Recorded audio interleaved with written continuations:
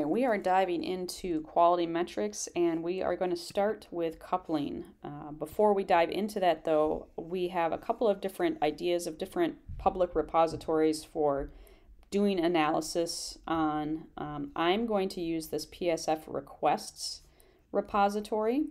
And in this uh, repository, we've got a number of different files but one of the things that we do care about when we are analyzing the code is where are the actual source files? So the main parts of code, not the test files, not document files, not configurations, where's the actual source code? And in this particular example, if I were to click through all those folders, I would see that in this source requests folder, this is where all my Python files are. So in this particular example, source requests is the path that we're going to analyze other repositories, other projects might have most of the Python files in a different path. So you'll have to do a little bit of work to figure out where that is for your project that you are analyzing. All right, back to coupling. So what coupling does is this is a measurement of the dependency between the different packages and modules in a software system.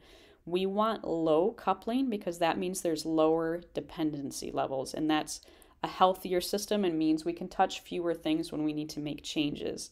Um, so we're going to use a tool called PyReverse. If you've already installed Pylint on your system, you should have PyReverse with it. You can confirm by typing pyreverse-h. This is going to give you the help manual for PyReverse. So if I, let's go ahead and make this uh, a little bit bigger here for our terminal. So I didn't get an error message. Instead, I got the way to use PyReverse. So it shows me PyReverse options and then packages, and then it shows me all the options. And in this example here, um, we have a number of different options that we're going to pass in. And then we also have, this is going to be the prefix. Um, that's the, the P option is our project name. This prefix is going to go into the files we'll generate. And then here is where you can see the file path to where all of our source code is. So again, we looked through our repository, found our source path that has most of the Py files, um, and that's what we're going to use. So let's go ahead and dive into this. So first of all, if I do ls, that lists the files that I have and folders. I've already cloned this repository. So if I were to go back to the repository, and then um, let's get back up to the main level here, click on this, I could copy this and I can do git clone and then paste in this path, and then that downloads the um, this repository for me, and then I have this now in my requests folder. Um, for this uh, analysis that we're doing, we're going to go ahead and go into that request folder by doing change directory cd requests. Now if I list out the uh, files again, I can see now I'm inside of the requests folder. You can see that in my path here. Um, so I put everything in this developer folder and now I've got my repositories called requests and inside of that are all of the same files that you can see in here okay? It's not showing the, the dot files because generally those are hidden until you, um, unless you put in a flag to see it, but you can see this authors file, history, license, all of those are in here. And remember, inside of source, so if I do ls source, I can see there's a request folder. If I do ls source requests, so I can see, list the system files that are in there. Um, I can see all those files that I was looking at earlier in GitHub. So this is what we're going to analyze. Let's go ahead and clear again. Now, I've got this line of code here, or this, this uh, command. I'm going to go ahead and paste it in, and I'll tell you what most of it does. So um, this, these options here are all listed out right here. You can read what they all are. This dash P is what we use to set our project name. In this example, I'm calling it requests code because we're in the requests project. And um, this is just going to be attached to the file name. You'll see it in just a moment. And then uh, this is our path to the source code. So the dot means in this directory that I'm currently in, I'm currently in this requests directory, then go into the source folder and then in the requests folder.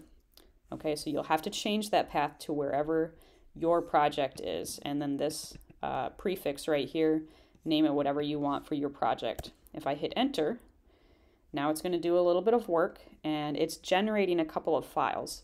Now what PyReverse does is it's a tool that you can use to help reverse engineer your Python project to get some diagrams.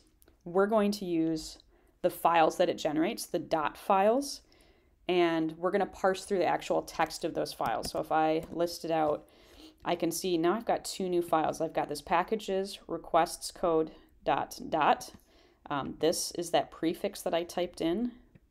And then I also have classes requests code dot dot. Now, what's in those files? What do we care about? We're actually, we only care about this packages file here. Um, I'm going to go ahead and look at that file. Um, let me see if I can make it. No, that's about as big as I can make it right now. But what you can see in this file, so here's where I um, uh, uh, to get the command to show it. And what this does is it gives me an output um, with a number of different things, but the parts that I care about are right here, where what this arrow means is that this has a dependency for this. It's importing this. Um, so we can look at the different modules and see what other modules or packages are being imported. Um, this is not something that's easy for us to use to analyze.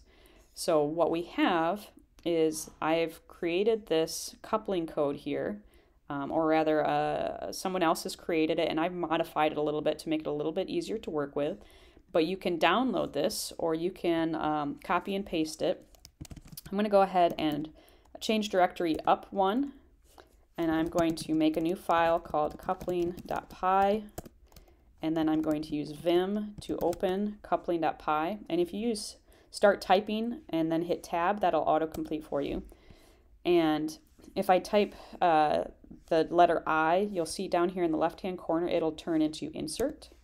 So now uh, I gives me the insert mode and what I'm going to do is I'm going to copy the raw file content it's been copied and in here I'm going to paste now I've got it in here um, I can go ahead and hit enter. I've got one more line. What I'm going to do now is hit the escape key. That gets me out of insert mode. And now to type commands, I'm going to type the colon, and then I'm going to do WQ. W writes it, Q quits out of Vim. That's how I've now just saved that file. You can also just download that file and save it in whatever folder you want. I like saving it near um, where I'm going to use it. So I'm going to go ahead and hit download just to show you. Um, and let's see if I can just open that in its folder. And um, I've got this developer folder here. I can just drag it right in there. Um, looks like I've already got a copy of it, but whatever. Uh, it's That's because I just made that one. Um, but that's what you can also do just through the graphical interface. You don't have to do it through Vim. So that's both ways to get that downloaded. Okay, so now let me clear uh, clear this, list out what I have. So now you can see I have my coupling file. Okay, let's go ahead and go back to our instructions here. So I just downloaded this file. And what this file is going to do, actually, let's go ahead and look at it. Um, I'll just look briefly at it. Um, actually, it'll be easier to look at it in GitHub. Let's just open it in a new tab because that'll give us all the color syntax. And let's just make this a little bit bigger. So what this is going to do is, remember I was showing you how that dot file for the package has a format kind of like this where you've got the module and then an arrow and then whatever other module or package. And you can see the dependency, what's cup what is coupled to what. Um, so what we're doing is we're going to use a regex, a regular expression, to find these lines. And then we're going to use that to um, count how many different dependencies we have. So uh, we've got, what it'll do is it'll output so that as it scans through it, it's going to say tell you which modules are dependent on what, just so you can visually see what it's doing. And then when it's all done, what it's going to do is it's going to give you a, a here's a little title just to tell you where it's starting, but the module dependency frequency. So how often is a dependency showing up in the different packages and modules? And it's just going to print those values out and that's what we're going to be using, okay? So it will prompt us for where what that where that package file is first. So let's go ahead and um, back here so you can see have an idea of what I'm doing. So first of all, let's um, remember where our file is. So remember uh, in requests we have this file here. That's the one I care about, okay? Um, so I'm going to do Python 3, and then I'm going to do my coupling code. Again, if I hit tab after I typed a few letters, I can autocomplete. Here it is prompting me for that file path. So that path is going to be the current directory, requests, because remember I'm up in developer, and then we want this file here. So I'm going to type packages requests code, that's the prefix I gave it, dot, dot. Okay, that's going to now process it. It goes very fast, it doesn't take much to do it. And remember, here's the output so that I can see what it's doing, what it's scanning. So that's that human friendly, what's dependent on what. And then we've got frequencies calculated here for us. Now, what do we do with this number, um, these numbers? we can put those into a bar graph and get an idea of how um, how frequently the dependencies are used. And I've got a, screenshot here of what that might look like for you. Let's see if I can make that a little bit bigger. But we're going to make a column with those values. And then uh, for each of those values, we're going to calculate the frequency and then we can make a bar graph based on that. So let's see. All right, I've opened a new spreadsheet. Um, we're going to call it quality metrics. And we're going to go ahead and try to follow the steps um, that I've provided uh, to get a general idea of how you might go about um, making some sort of a an analysis, a visual that you can use for your analysis. So Let's jump back down to coupling. Um, and what we're going to do, uh, let's see here, we've got, let's make a column called our dependency count.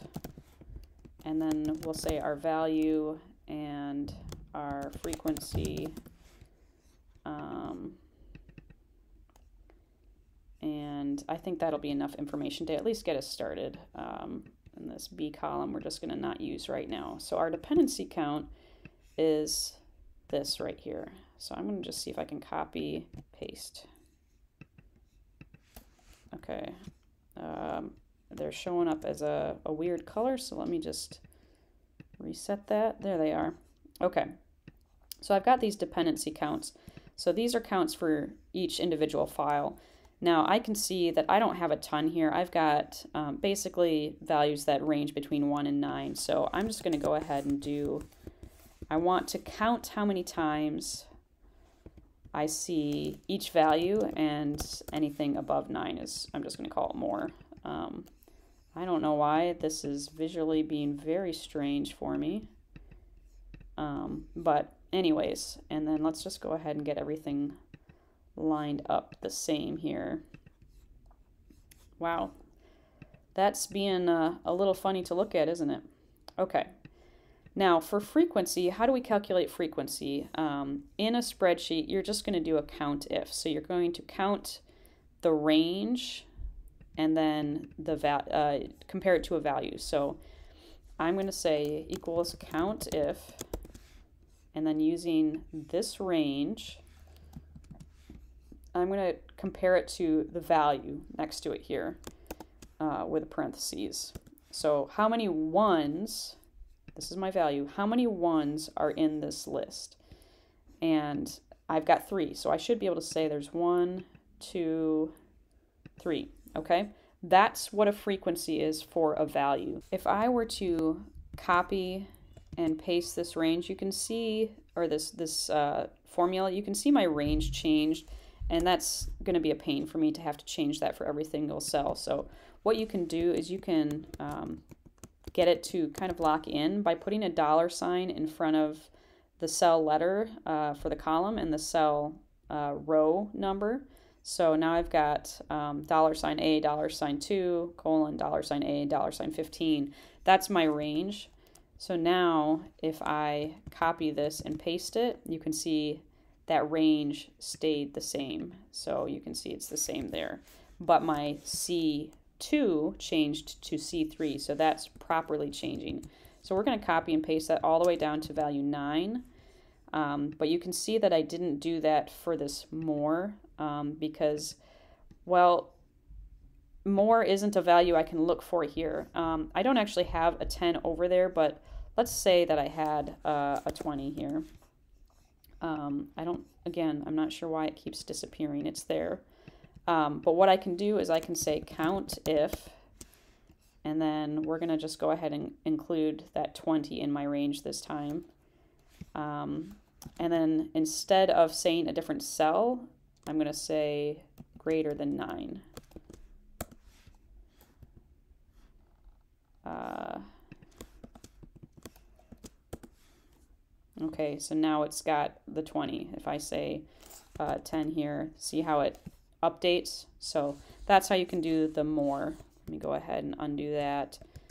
Um, let's do that again. So count if the range is greater than 9.